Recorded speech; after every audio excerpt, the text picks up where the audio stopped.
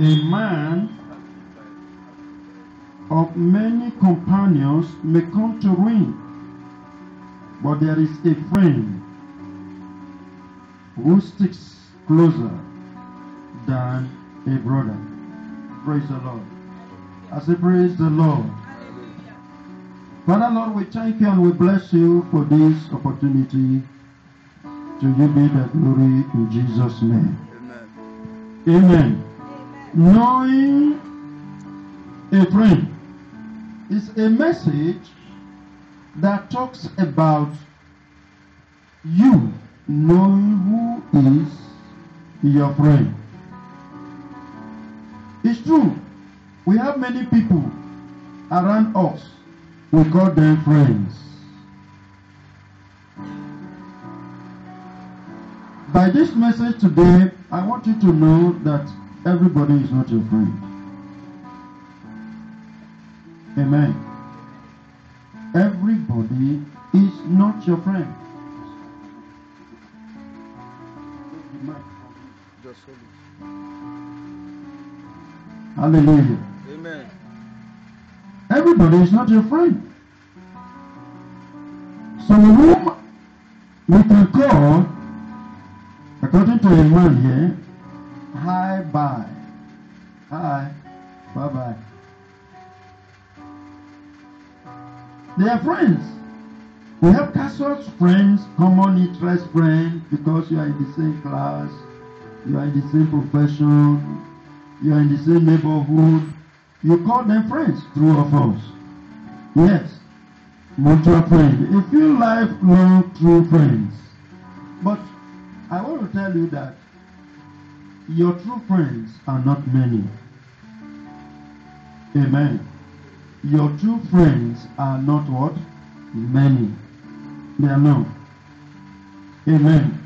What in the course of my getting meat to this message this morning, I searched everywhere and I stumble into these few points I want to make this morning. Amen. I stumbled to uh, stumbled on them and uh, I felt it is good that you hear it this morning. Amen. Amen. Knowing a friend. Who is my friend? What do I want from my friends? My friends, what do they want from me? We should be able to answer these questions. For you to say of the truth, this is your friend. And also, you know, we are children of God. Amen. For you to say somebody is your friend, it must be of God. It must that that person must have your belief. You must have the same spirit. You must have the same faith. You know, in our Sunday school this morning, we were talking about marriage. And I heard the teacher was saying, before you marry anybody, this person must be having your belief, your faith, your interests. Hallelujah. Because light and darkness don't move together. Amen. Unbeliever.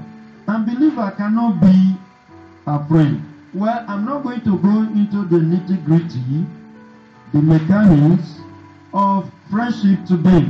But all I just want to prove to you today, for you to go home with, is that there are some characteristics you need in people before you declare them as friends.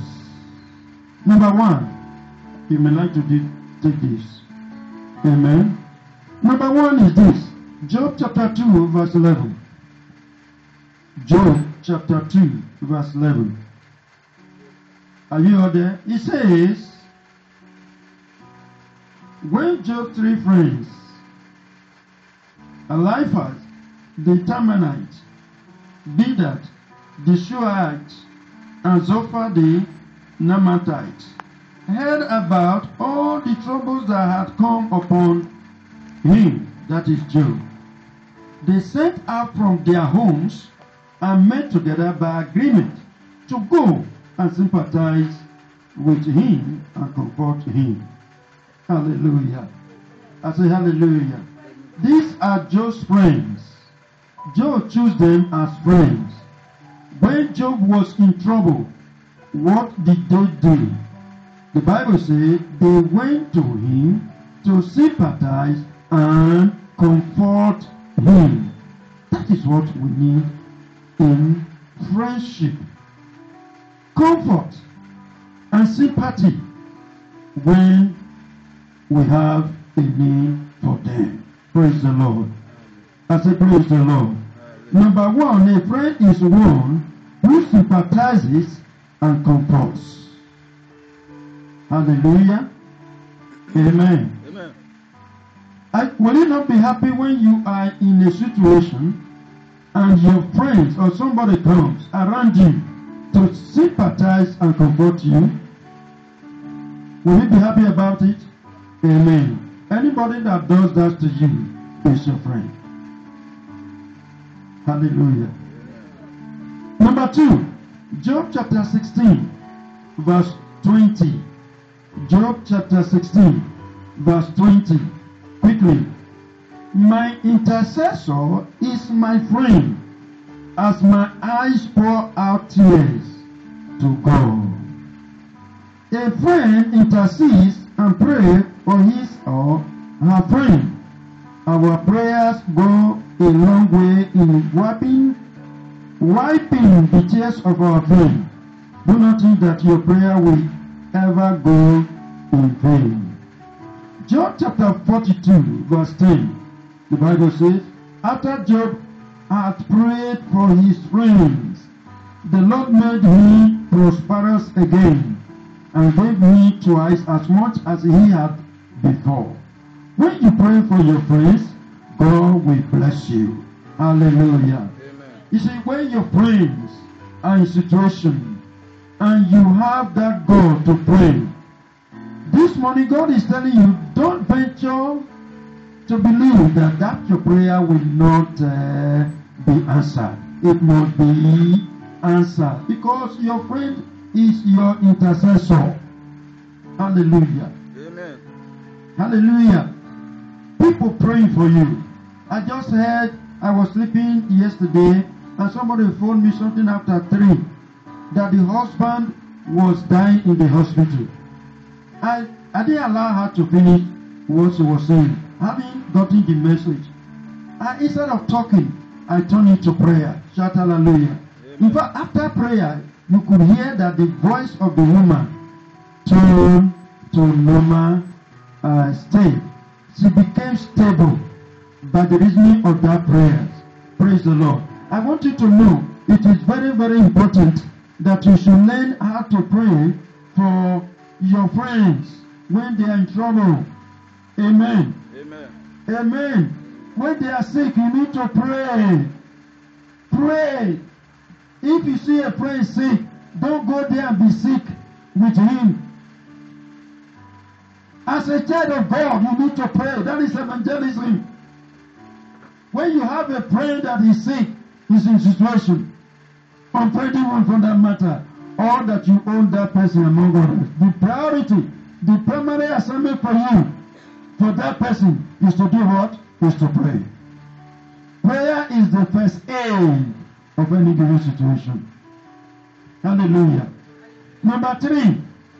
Number three. Proverbs chapter 17. You find it? Proverbs chapter 17. Are you there? Proverbs 17. And number three. Verse 7. Verse Proverbs 17 9. He-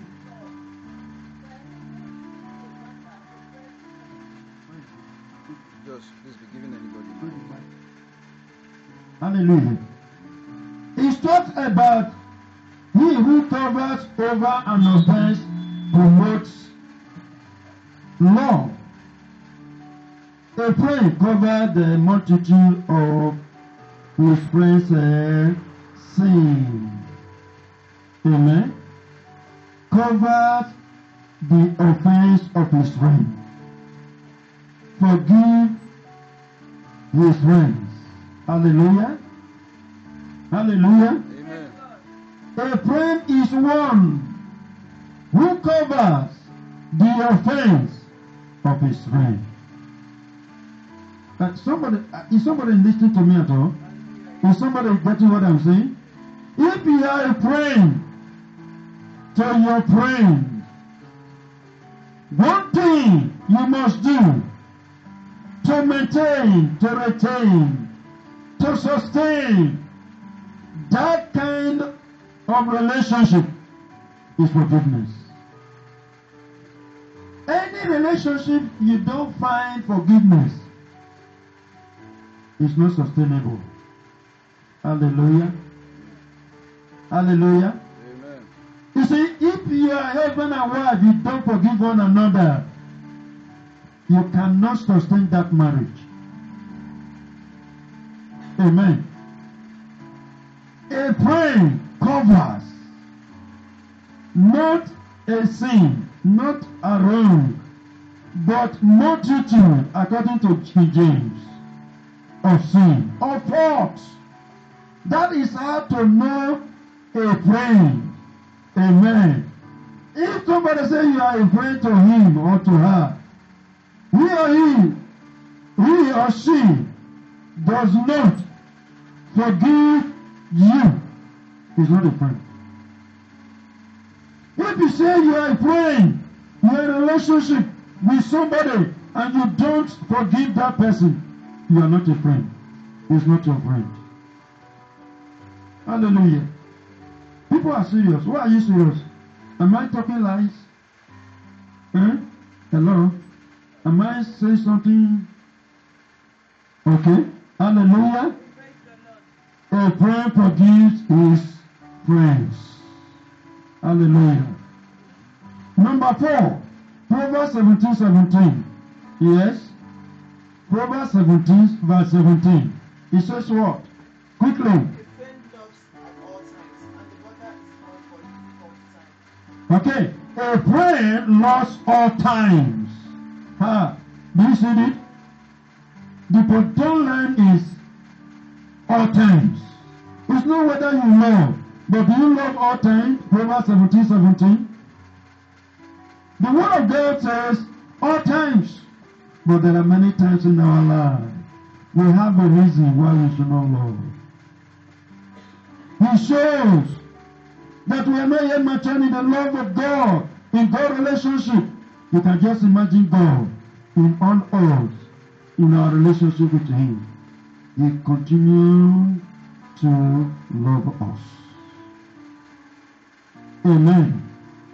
Love loves all time. All time. In season and out of season. In the morning, in the afternoon, in the evening. Love is in operation. Hallelujah. I say hallelujah. If God will stop loving us one day, everybody will be out of existence. True or false? I said true or false? Yes. If God will cease to love us within a moment, every one of us will be out of out of existence. Nobody will be alive. God loves us all the time. We should find it necessary as children of God to love all times. Hallelujah. Hallelujah. You know, a friend always loves. First Corinthians chapter 13, 4 to 8 talks about unconditional love. No matter what the mistakes or wounds of a friend are, the Bible teaches us to love our friends at all time. All time. Yes. The benefit of this is that there will be no room for separation. There will be no room for quarreling. there will be no room for misunderstanding when we love all times. Now we must see that this is the love of God in our life. Shout hallelujah. I'm not going to love of God, love of man. God is saying today that we should cultivate his own kind of uh, love. If we have the God kinds of faith, we must have God kinds of uh, love. Number five, Proverbs 18:24 says that there are friends that are still closer than brother. Friends are sticker or stick closer than a brother. I don't know whether I get what I'm trying to say there. Amen. What do I want to say there? Do you know? You get it? Hmm? It talks about a friend. A friend is, I mean, sticks closer than a brother. Is that correct? Yes. Yes. A friend, good friend, trustworthy friend. They are better than your brother, your biological brothers or sisters. True or false? True. That is the kind of friendship we have in Jesus. Hallelujah. I have no business with a Jewish man, but because this, because of this kind of uh, friendship he's having with us, an Israel man has a better friend of Jesus than Israel man. Hallelujah. You see Igbo man flowing better together with an Igbo man than a Jews a Yoruba man. Why? Because of this kind of uh, love, this kind of relationship, this kind of friendship we have in Jesus. Hallelujah. I say hallelujah. A friend is the one who can be trusted. You must trust your friend. Proverbs chapter 27, verse 6. Are you there? Proverbs chapter 27, verse 6. The Bible says, Wounds from a friend can be trusted, but an enemy multiply kisses is better. Like we have seen here, the wounds of your friend are better than the kisses. Multiple kisses. The wounds a friend can be trusted, can be relied, but an enemy multiply kisses. Hallelujah. There are many kisses from your enemies. They tell you to your face they love you. Amen. Amen. Amen. But the insult, the wounds, the, the molestation of a friend that you trust is better than pain. Amen. Amen. Amen. Amen. If a friend will slap you, is better than your enemy coming to kiss you, coming to express the kind of love that he does not have for you. Amen. Amen. Amen. Amen. Praise the Lord. Hallelujah. Amen. Amen. Well, Proverbs chapter 27, verse 9. He said, Perfume and incense bring joy to the heart. And the pleasure, the pleasantness of one's friend brings from his earnest counsel, which means a friend is one who gives earnest counsel. Amen earnest counsel, good counsel is from a good friend. Amen. Amen. Good counsel are from good. Amen. Amen. The counsel of a friend is so refreshing that the Bible says it is like perfume and incense. Hallelujah. Amen. He said we should beware of those friends who counsel you for their own gains. Amen. There are people who talk to you, who counsel you, giving you advice, I mean, just because of what they are going to gain from you. True or false? True. There are people who will not tell you the truth, the position of your life, so that you can be good. Good to yourself, good to your neighborhood, good to God. But they want their own selfish gain. Hallelujah. The last I have here is Ecclesiastes chapter 4, verse 10. Ecclesiastes chapter 4, verse 10. He says, If one falls down, his friend can help him up, but pity the man who falls and has no one to help him up. Hallelujah. Amen. An old and proverb said, saying goes like this A friend indeed is a friend indeed. A friend in indeed, a friend in need is a friend indeed. How true that is. We live in a world that uses us for its own gain and then dumps us when our usefulness is over. Christ did not give us up when we were dying in sin. He gave his friend for us when we needed him. And that is a true friend. Shout hallelujah. Which means a friend is one who lifts up, who lifts us up. Your friend should be able to lift you up when you are down. Amen. Any friend that comes to you to multiply your trouble is not a friend. Hallelujah. Amen. I say hallelujah. Amen. A friend should come to lift you up. Financially, a friend should come and lift you up. Socially, a friend should come and lift you up.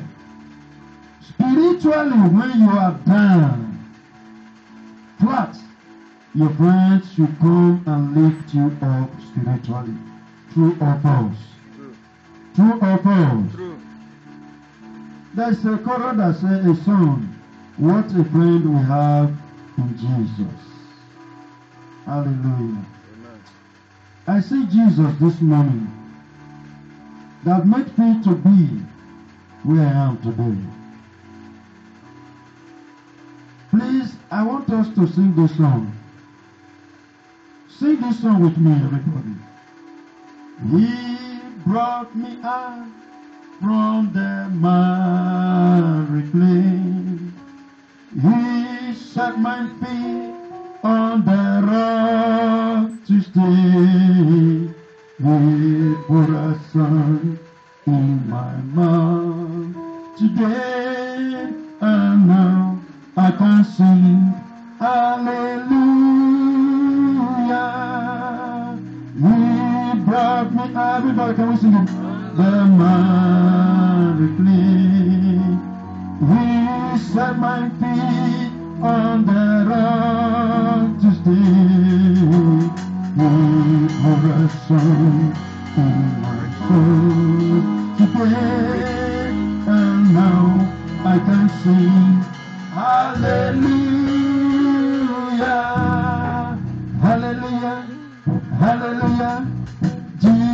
Jesus is Hallelujah, Hallelujah.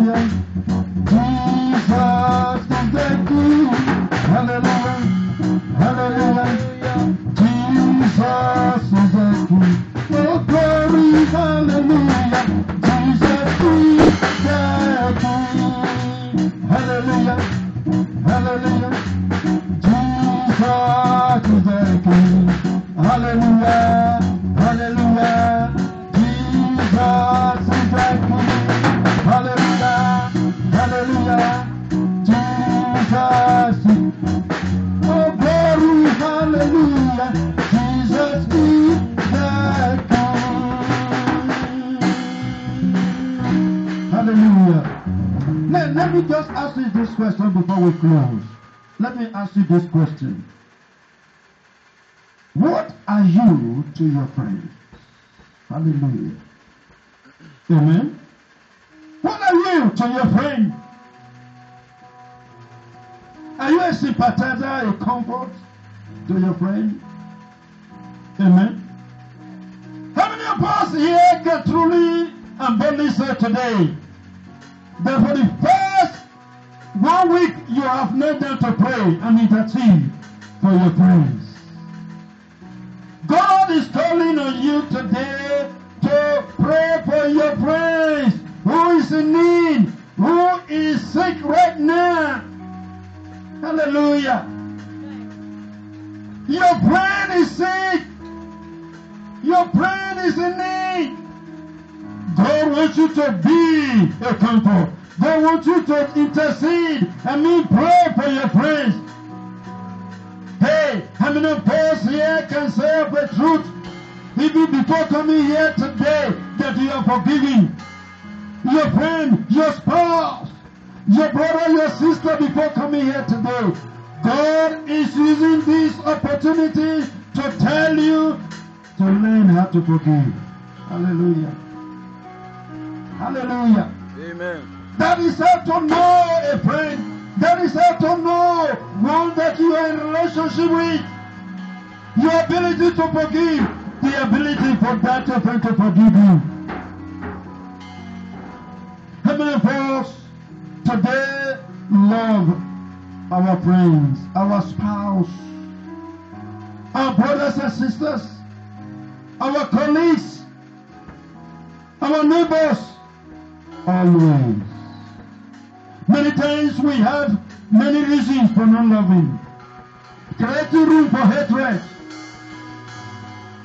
Creating things unfriendly. God is saying we should love all the time. Hallelujah. Amen. Do you stick closer to your brothers in Christ than your blood brothers and sisters? Many of us today still take instruction from our culture, from our condition, from our tradition to operate in the church of God. Many of us still invent using up time senses to operate in the house of God. Let me tell you, our relationship with God is stronger than that of our brothers and sisters, our parents.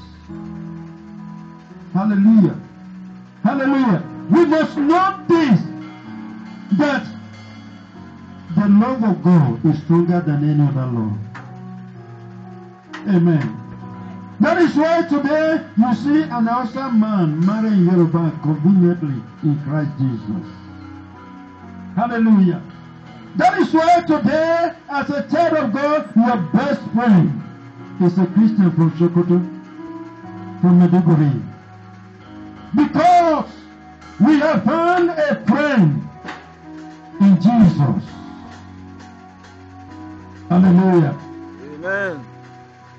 Yes, you must stick closer to your brother in Christ than that of your blood brothers and sisters. That's what we're talking just now in the Sunday school. Look, let me tell you, the relationship in Christ Jesus is higher than any other relationship. Hallelujah. In marriage, the love of God should supersede. Hallelujah. It's not about any other person, it's about Jesus Christ. Hallelujah. Amen. In our relationship, it's not about me, it's not about you, it's not about the man, it's not about the woman, it's not about any other person, but about Jesus. Amen.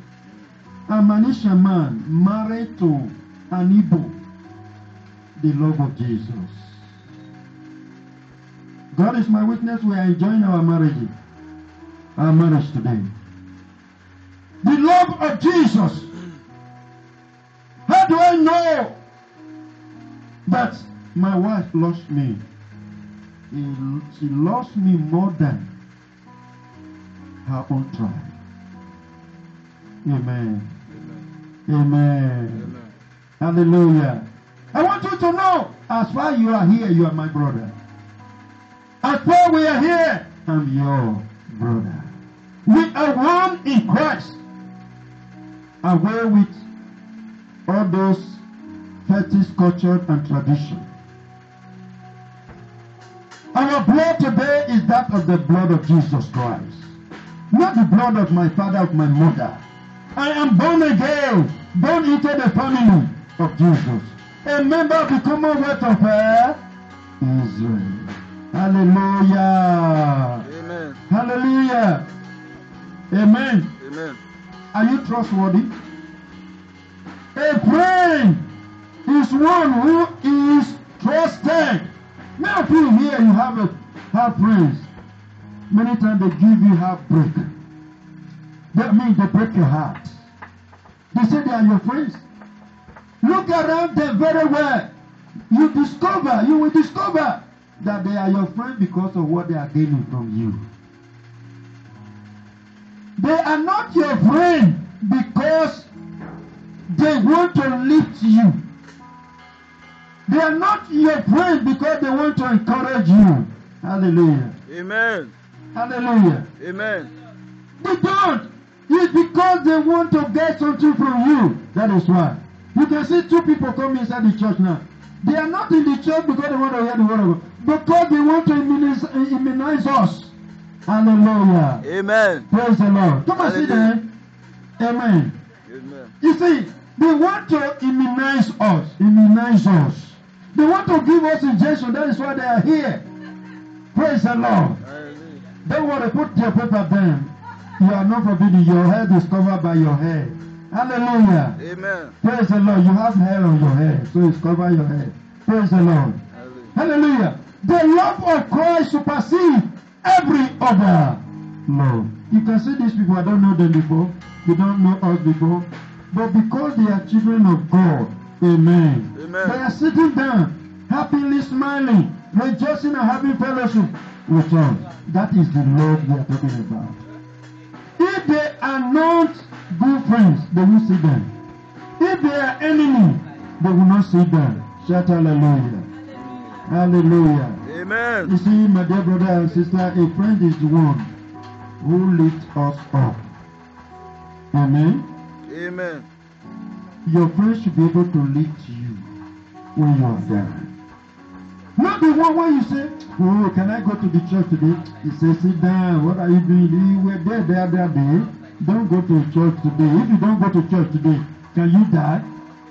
Is Christ coming today? He will discourage you. That one is not lifting you up. He's making you to go down the more. That is not a friend. A friend who encourages you to go and smoke. A friend who go about telling you that to womanize, to go and waste blood and waste money is not, uh, it doesn't matter. You know, a, a fish in the water cannot deny water. A we discourage you in the things of God, a friend when we tell you that to pray is wrong, and it every time, that is not a good friend. Hallelujah. My friend, you can. Hallelujah. Amen. Hallelujah. The Bible says in the book of James chapter 2 verse 23 that Abraham was God's friend, true or false. My friend, I want to close by saying we must do as what I've just told you to be Abraham's children and friends of God. Amen. Amen. This is exactly what Abraham did. That God one day called him and said, You are my friend. He trusted Abraham. Amen. Amen. Abraham lifted God by go by going out of his way to sacrifice his only begotten son. Hey, God said, This is a promotion to me. God, prom- uh, I mean, Abraham promoted God. God said, You are now my friend. Next, I will tell you some of these things surrounding godly friendship. May God make you his friends today. In the name of Jesus.